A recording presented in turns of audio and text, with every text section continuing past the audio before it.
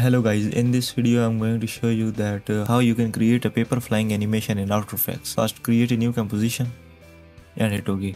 After creating new composition, drag your paper PNG into timeline and press S and scale it down.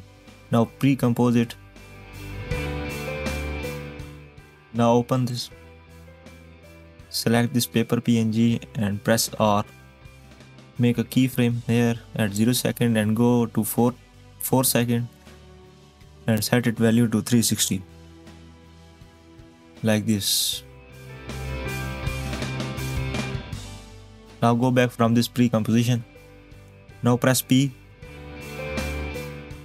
Go at 2 second. Make keyframe here.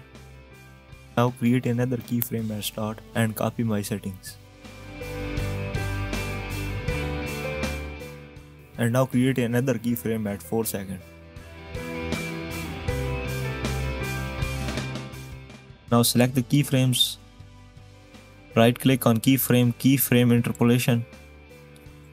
Auto Bezier to Bezier and hit OK. Now create a graph like this.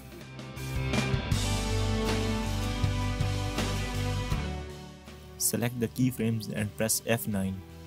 Open graph editor and make this graph. Close the graph editor now select the layer and apply CC cylinder effect.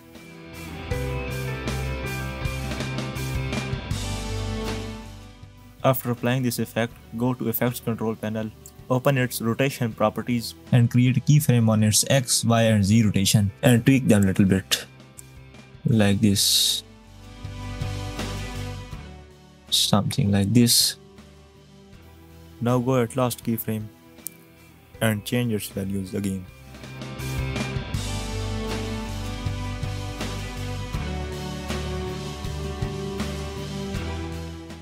After this open shading open shading properties and set the specular value to 0 this is how it look like.